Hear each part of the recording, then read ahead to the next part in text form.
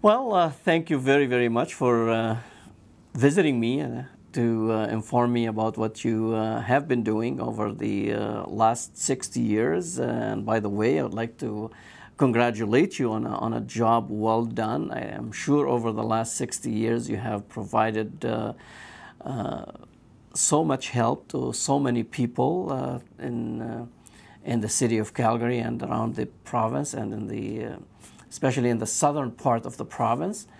And, uh, and at the same time, I would like to take this opportunity to, uh, to congratulate all those businesses who have been doing an excellent job ethically and uh, business wise and offering services to, the, to their community and to their customers.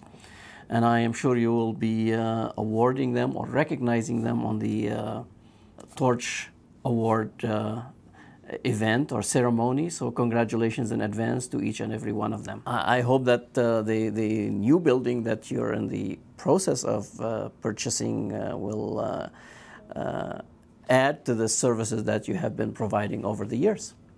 So good luck, and if I could be of any help, uh, please don't hesitate to call on me.